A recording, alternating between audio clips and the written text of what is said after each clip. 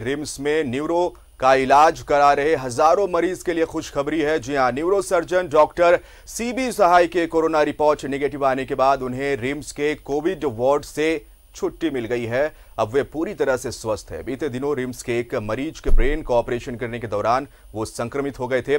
उसके बाद उन्हें रिम्स कोविड सेंटर में भर्ती किया गया था। उनसे बात की संवाददाता सत्यवर्त किरण ने।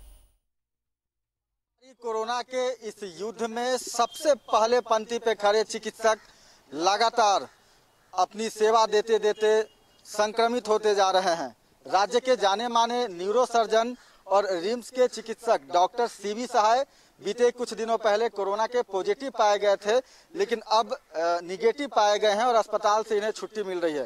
सर, जिस अस्पताल में आप काम किया करते थे, लोगों की सेवा किया करते थे लगा था कभी उसी अस्पताल में खुद भर्ती होना पड़ जाएगा? जो फ्रंट लाइन वैरियर रहते हैं उनको तो खतरा रहता ही है। तो ये तो कहीं ना कहीं दिमाग में रखना ही पड़ता है। आपके अंडर में कई सैकड़ों मरीज़ है जो कि लगातार भर्ती हैं।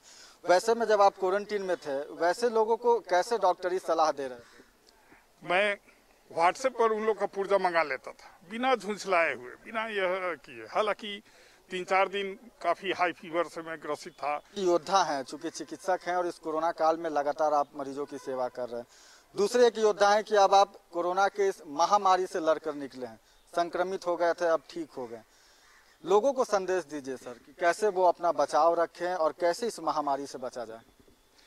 सबसे खुशी की बात यह है कि लोग बोलते हैं कि वरिष्ठ नागरिक को ज़्यादा खतरा रहता है। तो हम लोग तो खुद वरिष्ठ नागरिक हैं 63 ईयर्स एज हो चुका है।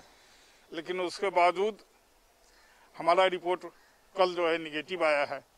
तो यह खुशी की बात कि आपके भीतर में इच्छा शक्ति क्या है? थे। राज्य के जाने माने neuro surgeon doctor C B Sahay बीते दिनों कोरोना के पॉजिटिव पाए गए थे अब इनका रिपोर्ट निगेटिव आया है और वैसे मैंने अस्पताल से छुट्टी दे दी है।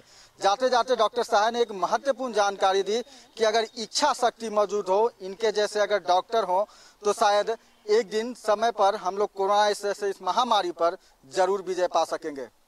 सहयोगी अरविंद के साथ सत्यव्रत किरण न्यूज़ इलेवन रांची।